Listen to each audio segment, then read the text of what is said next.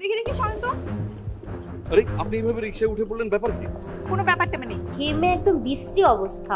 তুমি নাক ছিটকাচ্ছ কেন? তোমাকে না আসলে বোঝানোই উচিত। ডিসিপ্লিন বলে তো কিচ্ছু নেই।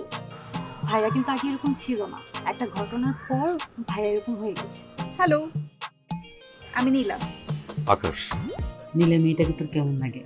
ভদ্রতা দেখিয়ে তুই একটু কথা বলতে পারি। তা না এমন একটা ভাব আমি যেন ডাকাত না সন্ত্রাসী দেখেই পালাতে হবে। মেয়েটা খুবই বিরক্তিকর। সে আমাকে দেখলেই গায়ে পড়ে এসে ঝগড়া করে।